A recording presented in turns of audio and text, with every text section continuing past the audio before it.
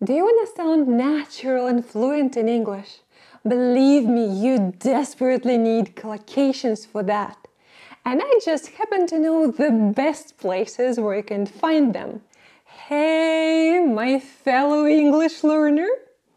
Here's a recent post on Reddit from another English learner.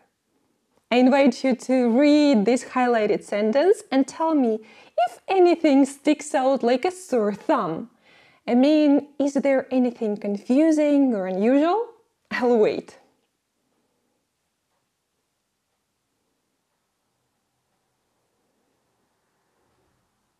Okay, when I first read this sentence, I was like, what is ameliorate and how can you ameliorate English?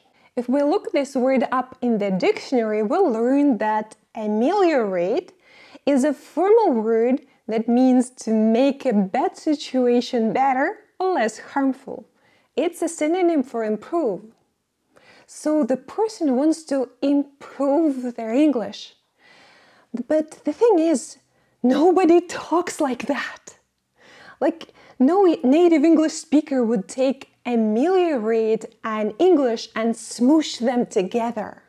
Basically, if two words collocate, they're frequently used together.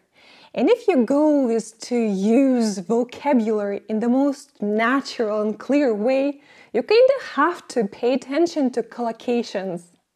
Phrasit is the tool I probably use the most. I've already made a video about it, so I'm not gonna go into detail right now, but basically you type a word or combination of words and get example sentences from different reputable sources. You may play with the filters on the left, like you can choose a tense or if the sentence should be a question, for example. Really useful. In my last video, I compared four major monolingual dictionaries and I stumbled upon a really cool tool in the Macmillan English Dictionary. It's especially useful if you need to learn more academic vocabulary for your work or studies, or if you need to write various reports, essays, or anything like that in English. I can probably make a whole video about this collocations tool, but for now, let's talk about the basics of how this thing works. You go to collocations and then you can simply click on the word that interests you or search for a word. Let's say you want to learn collocations with the word education. First, you'll find a bunch of adjectives that are used with this word, and then a few verbs. The awesome thing is that you can quickly learn how education is used in different contexts. Like if it's education aimed at younger children, for example, then you will have words like elementary and primary to choose from. Or if you want to talk about, let's say, university education, you can choose words like higher and tertiary.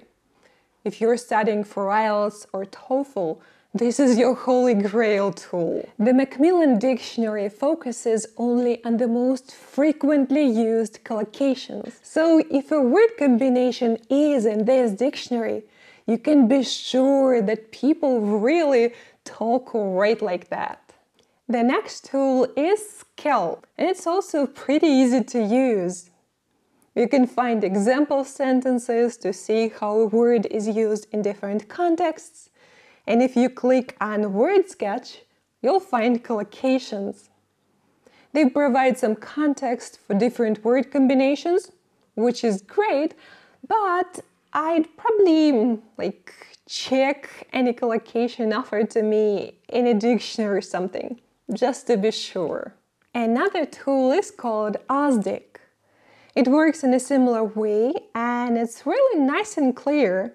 You can find different sections with adjectives, verbs, and nouns, but I especially love the separate section with prepositions because I look them up a lot.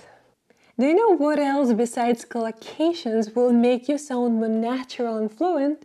Speaking practice. And I talk about improving speaking fluency through a challenge in this video. Thank you so much for watching and see you next time with more awesome language content.